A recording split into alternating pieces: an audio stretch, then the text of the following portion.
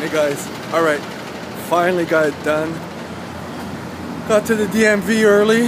It's a little rainy day, so it's not gonna get, it's not sunburn time, you know. I got my sweat jacket on.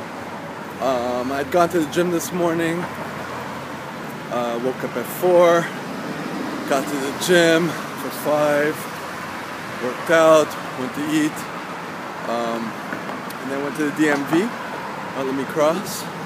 And got it done. So that is that. Um, I'm gonna go sleep now. Me a nap.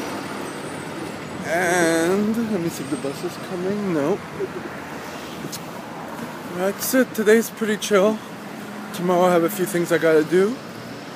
Um, yeah that's it. I'll see you tomorrow. Bye